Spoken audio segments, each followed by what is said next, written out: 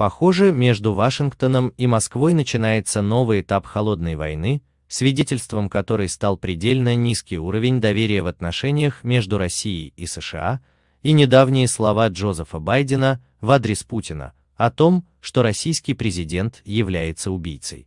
По мнению украинского издания «Главред», лидер США не оговорился, это была достаточно выверенная реплика.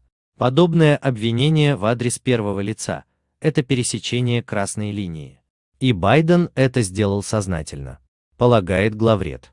Такая реакция хозяина Белого дома была вызвана полученными им доказательствами о причастности российских властей к вмешательству в американские выборы, и президент заокеанской сверхдержавы полон решимости наказать Кремль за это.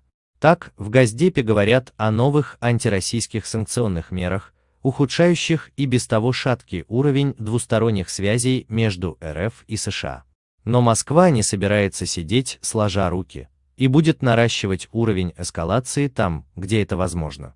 В частности, Россия может активизировать действия против союзников США, в число которых входит и Украина.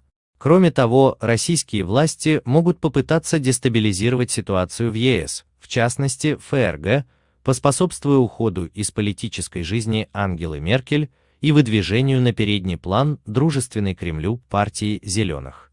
Возможно также обострение ситуации на оккупированных Россией территориях, в районах действия российских прокси-сил или политической агентуры Москвы.